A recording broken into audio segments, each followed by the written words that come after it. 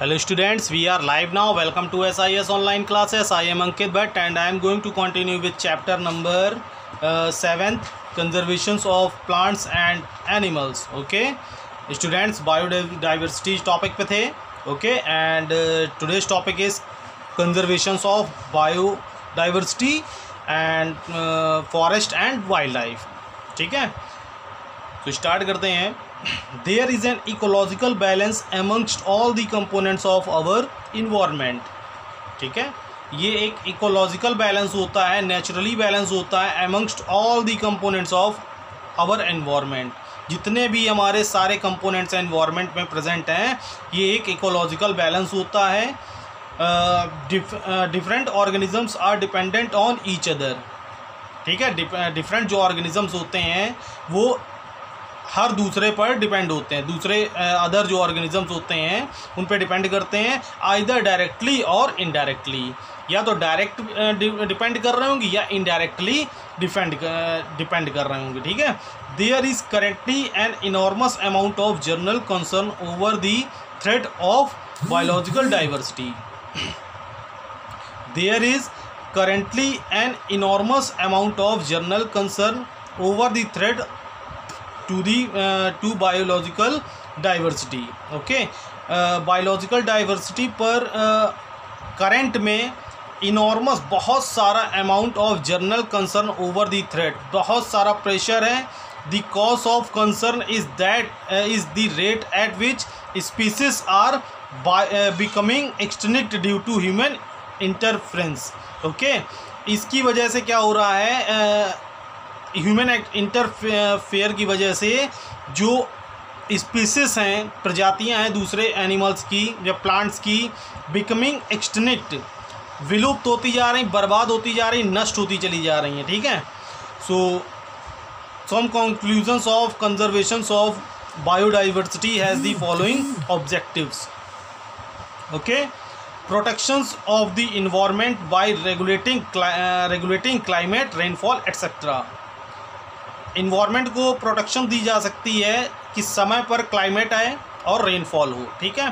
Help in the purification of air air के purification से भी हेल्प कर सकते हैं। And water of purification okay and preservation of soil fertility और सॉइल की जो ताकत है फर्टिलिटी है, ठीक है? उसको प्रिजर्व करके भी हम हेल्प कर सकते हैं। Help to maintain a balance in the availability of food इस बैलेंस को मेंटेन कर सकते हैं फ़ूड की अवेलेबिलिटी से in the form of food chain ठीक है? फ़ूड चेंज के through and food webs okay biosphere reserves are areas biosphere reserves are areas meant for conservation of biodiversities biosphere reserves जो हैं आर एरियाज़ एरियाज़ हैं meant for conservation of biodiversities जो हमको conservation of biodiversities का मेंट uh, बताते हैं। And the biosphere reserves are the areas और जो बायोस्पेयर रिजर्वर्स एरियाज़ हैं meant for conservation of biodiversities और इसका हम बायोडाइवर्सिटीज़ के कंजर्वेशन को भी समझाते हैं ठीक है? It help to maintain the biodiversities ये बायोडाइवर्सिटीज़ के मेंटेनेंस में हेल्प करता है and culture of that area और उस एरिया के कल्चर को भी सेफ़ रखता है। They may also contain other protected areas ये अपने साथ साथ दूसरे अदर जो एरियाज़ हैं, उनको भी प्रोटेक्ट करता है। For example the Pachmarhi biosphere reserver reserve in Madhya Pradesh consist of one national park named Satpura. जो पचमराही बायोस्पेयर रिज़र्व है, इन मध्य प्रदेश में कंसिस्ट करता है वन नेशनल पार्क को। नाम क्या है उसका? Satpura. And two wildlife sanctuaries और दो वाइल्ड लाइफ सेंचुरीज हैं, Bori and Pachmarhi okay so I think समझ में आ गया होगा इतना टॉपिक डिप्रेशंस ऑफ़ बायोडाइवर्सिटीज़ कि कैसे बायोडाइवर्सिटीज़ बर्बाद होती जा रही है, नष्ट होती जा रही है, ठीक है? डिप्रेशंस कैसे वो डिप्रेस होती जा रही है मतलब नीचे साइड आती जा रही है, ठीक है? जबकि उसका इंक्रीमेंट होना चाहिए, कैसे कैसे वो उसको ख़राब किया जा रहा है, ठीक? ख़राब होती चली जा रही है। Deforestation means clearing of forest deforestation का मीन्स क्या होता है? फॉरेस्ट को क्लियर करना and using the wood from the plants for various purpose और जो उस प्लांट्स की जो वुड है, उसका यूज़ बहुत सारे पर्पसेस में यूज़ करना such as building houses and factories manufacturing furniture and as fuel the cleared land is use for industrialisation जो क्लियर लैंड होती है इज़ यूज़ फॉर इंडस्ट्रियलाइजेशन और जो ये जब क्लियर हो जाती है लैंड पेड़, पेड़ों को काट के, ठीक है वाइल्ड लाइफ को ख़त्म करके, तब वहाँ पे इंडस्ट्रीज़ और अर्बनाइजेशंस का सेटअप किया जाता है। There is a worldwide demand for wood to be use in construction okay there is worldwide demand ये पूरे दुनिया की डिमांड है फॉर वुड वुड के लिए to be use in constructions paper industry etcetera ठीक है कंस्ट्रक्शन पेपर और इंडस्ट्रीज़ में वुड का यूज़ होता है तो बहुत सारी वर्ल्ड में इसकी डिमांड है। Increasing urbanisations and commercial urbanisation जो सिटीज़ एरियाज़ होते हैं increasing urbanisations and commercial and industrial expansion has resulted in a degraded environment ठीक है, ये इन्वायरमेंट को क्या करता जा रहा है? डिग्रेड ठीक है डिग्रेड मीन्स नीचे खिसकाता चला आ रहा है ख़राब करता चला जा रहा है, ठीक है? With reduced biodiversities reduce biodiversities को रिड्यूस करते हुए बाई बायोडाइवर्सिटीज़ जब रिड्यूस होती जाएँगी तो कई सारी स्पीसीज जो होंगी प्लांट्स की एनिमल्स की, वो क्या होती जाएँगी? ख़त्म होती जाएँगी, ठीक है? And geography of that area और उस एरिया की जोग्राफी भी जिसकी वजह से वो जाना जाता है, वो भी ख़त्म हो रही है. And the country okay so consequences of deforestation consequences of deforestation so deforestation is a substantial contributors of global warming deforestation जो है, वो कॉन्ट्रीब्यूटर्स है कि, बताता है कि ग्लोबल वार्मिंग की ओर आप बढ़ रहे हैं। ठीक है? अर्थ को आप खतरे में डाल रहे हैं। Deforestation is a not a solution of any purpose ठीक है?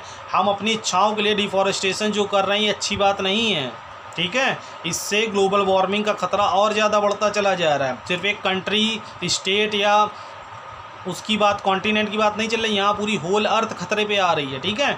तो deforestation is a substantial contributors to global warming deforestation जो है वो सस्टेनल कंट्रीब्यूटर्स है ग्लोबल वार्मिंग का mass destruction of forest for industrialisations and urbanisations coupled with the burning of forest protects in order to clear land releases enormous amount of carbon uh, into the the okay?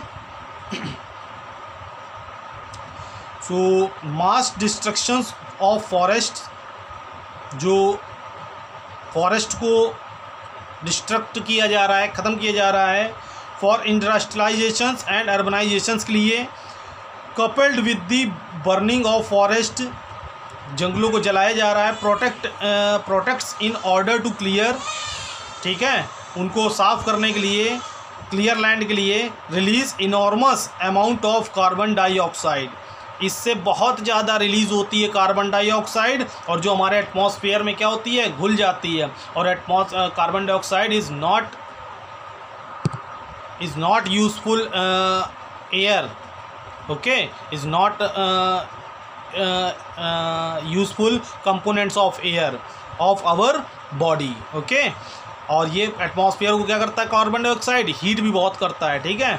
Into the atmosphere ठीक है? Increasing temperature polluted level and depleting groundwater results in uh, disturbance of the entire ecological balance ठीक है? जो in temperature increase होता जा रहा है pollution level बढ़ता जा रहा है depleting ground water ground water ख़त्म होता जा रहा है results in disturbance of the entire ecological balance इससे इकोलॉजिकल बैलेंस जो है वो क्या होता जा रहा है? अनबैलेंस होता जा रहा है ठीक है? सो so, आज का टॉपिक यहीं तक करते हैं। डेट डाल देते हैं तो अगली बार भूलेंगे नहीं क्योंकि कुछ आज पार्ट प्रीवियस भी रीड करते चले गए। जब मैं लास्ट में आया तब मुझको पता चला इस टॉपिक से कि अरे ये तो क्लियर हो चुका था। कोई बात नहीं पढ़ाई कोई बुरी चीज़ नहीं है ओके रिवीजन हो गया इसी बहाने आपका। So bye take care